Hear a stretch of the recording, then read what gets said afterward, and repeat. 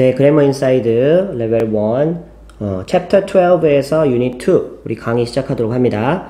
자, 이제 얼마 안 남았으니까 집중해서 잘 들어야 돼요. 알겠죠? 자, 지난 시간에는 의문 대명사에 대해서 배웠어요. 의문 대명사. 그래서 어, 주어가 궁금하기도 하고 목적어가 궁금하기도 하고 보어가 궁금하기도 한 그치 의문 대명사였고 지난 시간에 어순이 좀 약간 헷갈리는 부분이 있었어.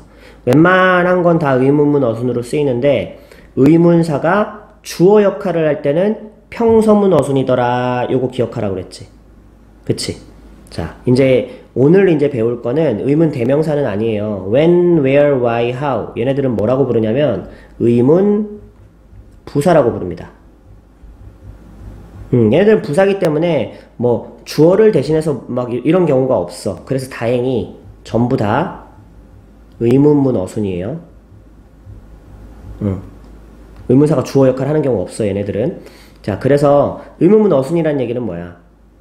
비동사일 때는 주어 동사 위치 바꿔주고 일반 동사일 때는 맨 앞에 do나 does나 did 붙여주고 그치? 요걸 기억을 해줘야 돼. 자, 그럼 요걸 바탕으로 뭐 각각의 의미야 우리 알고 있죠. when은 언제, where, 왜, 아니 어디에, why, 왜, how는 어떻게. 근데 이제 how는 조금 더 볼 게 있어요. 자, 바로 한번 가볼게요. When is Valentine's Day? 발렌타인데이는 언제니?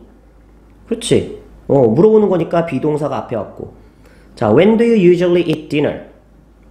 너는 보통 언제 점심, 어, 저녁을 먹니? 그치? 이것도 봐봐. do가 왜 있어? 어, 물어보는 거는 의문문 어순은 원래 일반 동사 앞에 do, does, did 쓰는 거야. 그쵸? 음. 자, where도 마찬가지입니다. Where did, where is the post office? 우체국은 어디니? 자, 이것도 비동사 먼저 왔고, 비동사는 이렇게, 어, 주어동사 위치 바뀌었죠? Where did you get the information? 너 그 정보, 어디서 얻었니? 그쵸? 이것도 did 왜 썼어? 의문문이니까, 의문문이니까. 사실 이게요, 쉬워요. 잘 봐. You got the information 있다고 쳐요. 그럼 너는 정보를 얻었다잖아, 원래.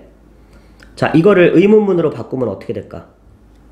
자, 그럼 의문문을 바꾸려면 항상 동사의 그 성향부터 봐야 되겠죠. 얘 일반 동사야, 비동사야?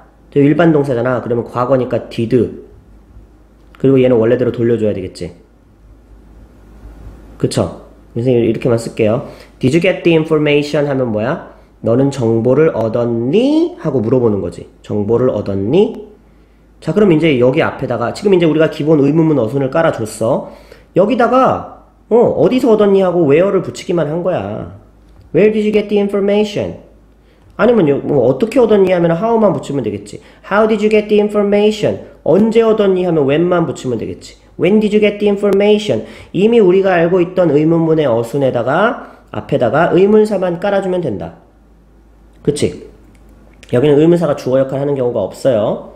자, 그 다음에 why. 자, why are you so upset? 너 왜 그렇게 속상해? 아, 왜냐면요. 우리가 졌기 때문에 그래요. 게임에서.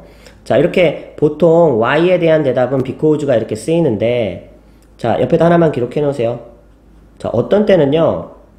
because만 쓰이는 경우가 있고 어떤 때는 because of가 쓰이는 경우가 있거든. 근데 두 개의 쓰임의 뒷 구조가 다릅니다. 이거 외워야 돼. 시험에 잘 나와요. because만 나올 때는 뒤에 주어 동사가 나와. 여기가 그렇지, 그렇지. 우리가 졌기 때문에 그래요. 근데 만약에 because of까지 보인다, 그럼 이 뒤에는 명사가 나와요. 오케이? 우리의 패배 때문에 이런 식으로 패배라는 명사가 나오는 거야. 음. 왜냐면 of가 전치사잖아. 전치사 뒤에는 명사 와야 되지? 음. 자, 그 다음에 좀 올라가 볼게. 얘, 얘네 중요합니다. 실제 우리가 대화문이나 교과서에 이거 굉장히 많이 나오는 표현이죠? 이 별표. 자, 따라해보세요. Why don't you? Why don't you? 그치? 이거 뭐뭐 하는 게 어때? 이런 뜻이고. 그 다음에 우리 뭐뭐 하는 게 어때? 할 때는 Why don't we? Why don't we? 그쵸? 두 개가 비슷해요. 어. 자, 이때는 let'랑 같은 표현이야. 우리 뭐뭐 하는 게 어때니 같이 하자는 말이지. 근데 중요한 건 뭐냐면 why don't you, why don't we 둘 다요. 뒤에 동사 원형이 옵니다. 써놓으세요. 이거 진짜 중요합니다. 동사 원형이 오는 거야. 그 봐봐. Why don't you start? Why don't we go? 그치? 어. 너 뭐뭐 하는 게 어때? 자, 이게 왜 헷갈리냐면요. 나중에 뭐 보기에서 같은 문장 찾으라고 막 하고 그럴 때 How about? What about? 얘네도 이제 뭐뭐 하는 게 어때거든요. 근데 얘네들 뒤에 동사가 올 때는요. 얘가 전치사기 때문에 ing가 와요. 동사 원형이 아니라. 그래서 얘네들이랑 좀 헷갈리는 거라 잘 외워줘야 돼.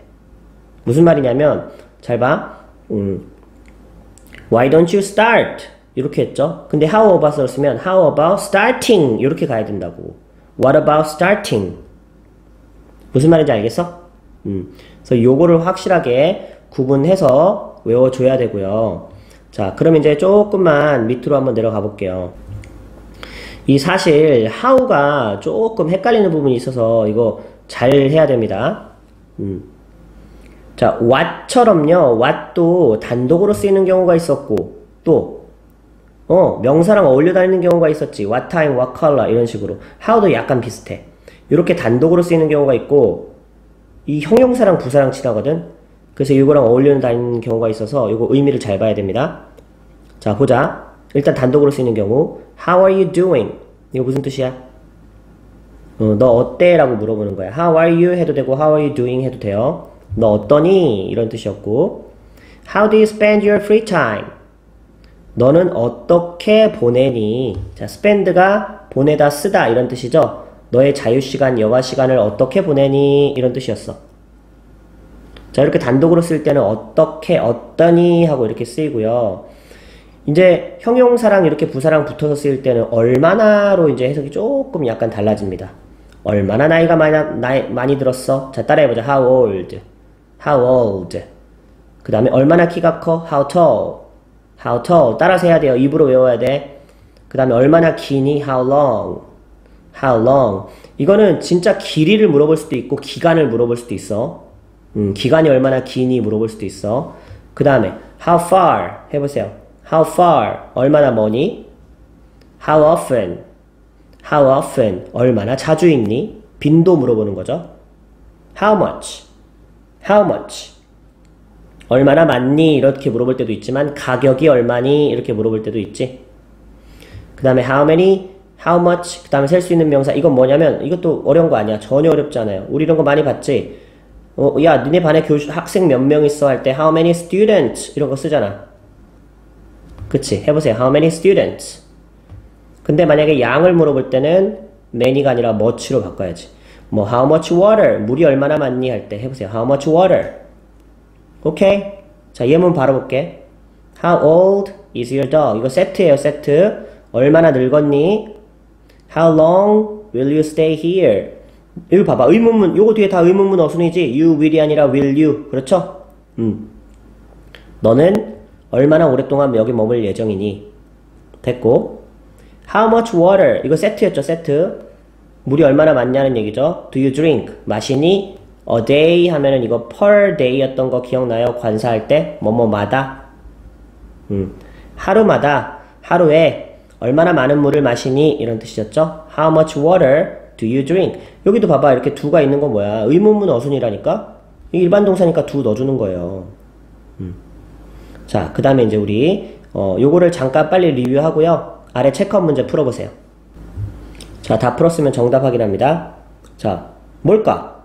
어, 날짜 대답했어. 그럼 언제니라고 물어봤겠지. 어, 생일 언제니라고 물어봤겠고. 자, 그 다음은, 음, 저 뭐 물어봤을까? 어, 한 달에 한 번이래. 그럼 빈도 물어봤겠죠? How often? 요거 세트였죠, 그쵸? 음. 자, 위에 거 다시 한번 이거 외우세요. 자, 다시 한번 따라서 처음부터 따라 읽어봐. How old? How tall? How long? How far?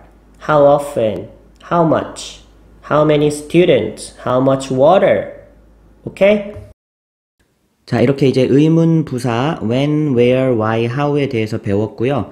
이제는 실전에서 내가 문제를 풀어봐야겠지. 그치? 오른쪽 우리 프랙티스 문제 잘 한번 살펴보고 어, 내가 이제 사실 문제 푸는 게 어렵지는 않을 거예요. 의미만 잘 알면 어, 잘 풀어보고 오답 정리 꼼꼼하게 잘 하기 바랍니다.